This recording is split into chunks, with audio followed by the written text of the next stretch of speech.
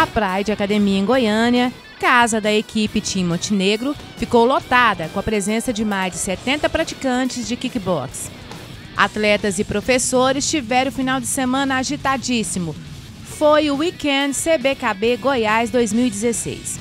Dividimos todas as academias aqui do estado de Goiás, com participação de equipes do, do Pará, de todo o Centro-Oeste. O nível técnico tem aumentado significativamente, né? Vista do intercâmbio que tem tido, tanto Campeonato Brasileiro, Copa do Brasil, né?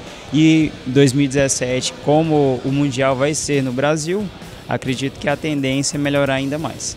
Além de participar de um curso avançado de K1, ainda tiveram fôlego para reunir várias academias em um desafio. Foi a Strike Cup Kickbox, uma tarde de troca de experiência entre os praticantes desta arte marcial de combate em pé. É, depois de tanto tempo sem lutar só em pé, eu estava lutando só MMA, né? E recebi algumas propostas. Então resolvi voltar a lutar para me credenciar, né? Para pegar um tempo de luta que é totalmente diferente do MMA. E vamos evoluindo, vamos ver ano que vem tem o Mundial, né? Tem outra Copa Brasil. E eu quero estar em todos, eu quero arrebentar todo mundo. A comando do Messi Alex Montenegro, faixa preta, quarto dan pela Waco Kickbox, ficou o curso avançado. E como anualmente faz, Montenegro trouxe a Goiânia Paulo Zorello. É, na atualidade hoje é o mais influente do Brasil no kickbox. E eu digo assim, a nível internacional.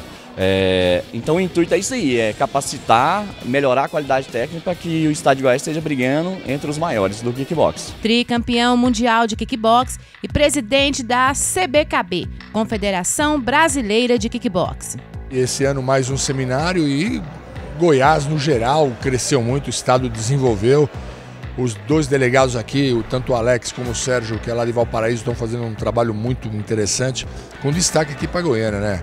Esse final de semana foi um weekend de kickboxing, seminário ontem, hoje evento após meu seminário, participação em massa. Isso é importante, importante o desenvolvimento do esporte que está crescendo muito no Brasil todo. Então, eu quero essa, essa visão sua do kickbox goiano.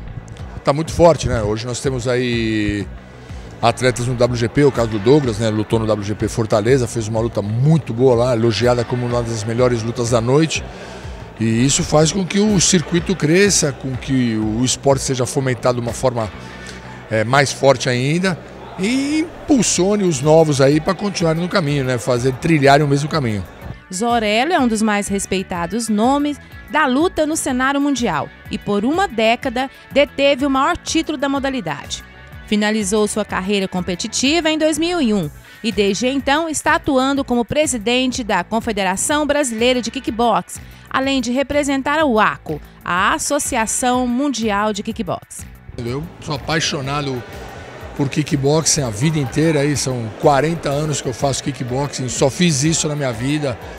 Enfim, e ver esse resultado aqui, né? O resultado, essa molecada crescendo, técnicos se, se transformando, vai, pegando atleta lá e hoje técnicos renomados no mundo.